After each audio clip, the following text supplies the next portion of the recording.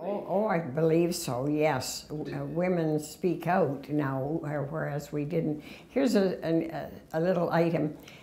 When we joined, um, when I joined, uh, we were issued a full kit, complete with a great big, beautiful duffel bag. Not very glamorous.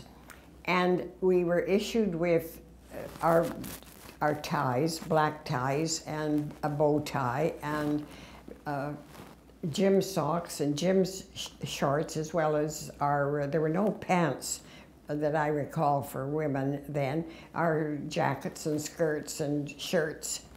And um, when I left, the storesman still had that, and just a pencil and paper system of keeping things.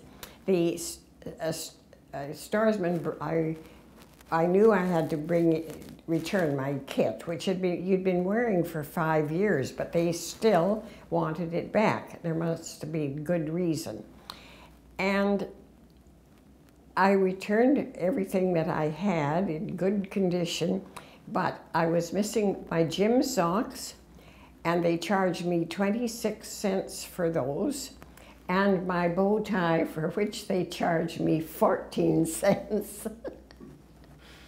I, will always remember that, and I, I think the the store the store's keeper just enjoyed a, another beer on us.